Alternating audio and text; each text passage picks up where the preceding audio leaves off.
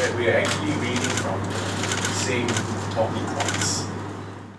Malaysia dan Singapura akan meneruskan perbincangan mengenai isu air di bawah Perjanjian Air 1962 62WA melalui Peguam Negara kedua-dua negara.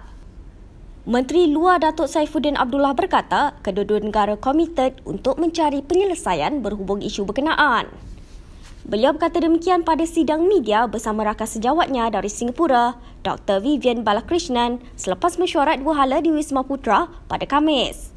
Sementara itu, Vivian berkata kedua-dua negara mempunyai pendapat berbeza mengenai hak untuk mengkaji harga air di bawah perjanjian berkenaan.